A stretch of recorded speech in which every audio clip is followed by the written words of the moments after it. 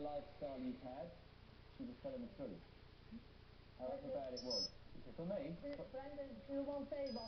Change off the thing you haven't, and I know you've had my oh, guilt. what you, you told me. Brendan. I knew 100% them girls were your kids. Well, you can, I, can I just tell you? Can I just say?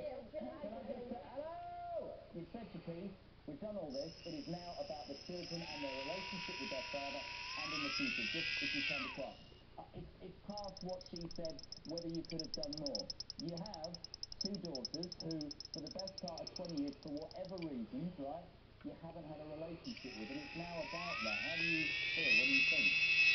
Well, I just, I just sort of feel that th- even though he spoke to Jamie like the way he did, he hasn't with me because he didn't know whether he was my dad, but I've also got two children that I didn't want to, well, none of us wanted to put in a position where they thought he was granddad and he, and he All right, wasn't. Granddad? Oh, what did you say?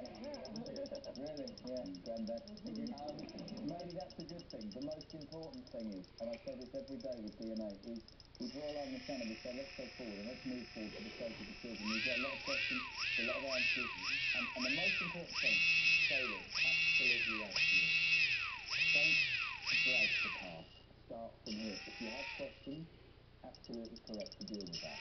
In private here, whatever you want to do, but it's it's almost like let's leave this behind now. She was proven right. Now, whether she did say that to spite you, whether you could have done more, these girls had their